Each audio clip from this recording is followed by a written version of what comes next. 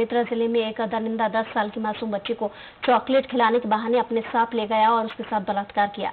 मासूम बच्ची रोते हुए घर पहुँची और अपनी आप बीती परिजनों को बताई और उसके बाद परिजन बच्ची को लेकर थाने पहुँचे। आरोपी के खिलाफ शिकायत दर्ज कराई गई। पुलिस ने आरोपी को गिरफ़्तार कर जेल भेजा।